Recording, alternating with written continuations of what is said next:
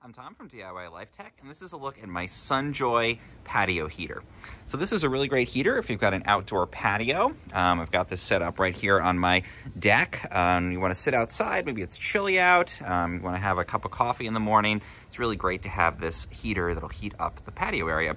So at 47,000 BTUs, that's a measure of the amount of heat that it outputs. It's definitely enough to heat up this whole area. So if I want to sit out on the couch here or somebody wants to sit in the chair, um, it provides a nice radiant heat. And with the burner at the top here and then the reflector around it, it really does distribute that heat around the area on your patio. And it works great at night. It works great on those chilly mornings. I've even seen these used in restaurants for an outdoor patio. And this is definitely a really sturdy, really high quality unit. Um, so it's, uh, it's relatively tall. You can see that it's big enough, again, to distribute the heat all around here. And in the bottom, we've got this base that has a standard propane cylinder in it. So really easy to swap that out. You just lift this up, um, put a new cylinder in.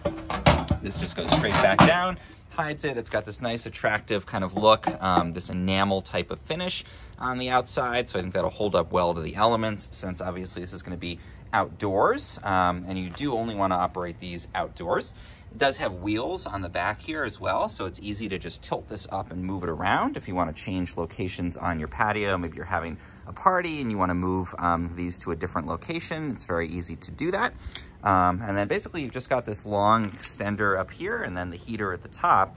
Lighting it is super easy. It's got a built-in igniter. Um, so basically from the heater being in the off position, all that we have to do is move it into the, um, the high position here to light. Then we're gonna press that igniter and that lights the burner. Um, and you just hold this in. After you've done that, you can hear a nice click and the gas will activate on the top here. Um, and then we are good to go. So we've got the flames going, just let up on that slowly, and then we can adjust the temperature to whatever setting we want. So I've got it on my high setting, can also change it to low if I don't need it to be as powerful out here. Um, so it's gonna just continue to, you know, heat this whole area. I can show you the, uh, the whole kind of scene we've got going on here. And um, again, I think it's good quality, looks great out on the patio. And um, it's gonna just be radiating that nice heat out to the whole deck here. Um, one other nice feature with this it is um, pretty safe because it does have a tilt detector built into it. And um, if it does start to tip over, it will actually cut off gas to the burner at the top there, um, which is definitely a really important safety feature to have if it were to be knocked over by mistake.